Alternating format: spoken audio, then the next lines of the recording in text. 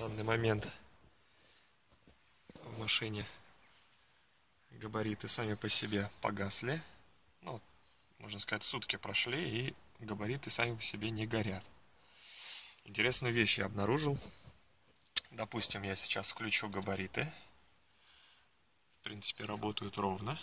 А, и достану предохранитель Сиглейтер. Сейчас, вот он, третий. И его вытащу. Вот я его вытаскиваю, и я его вытащил. А габариты продолжают гореть. Что-то тут намудрили до меня еще. Что буду разбираться.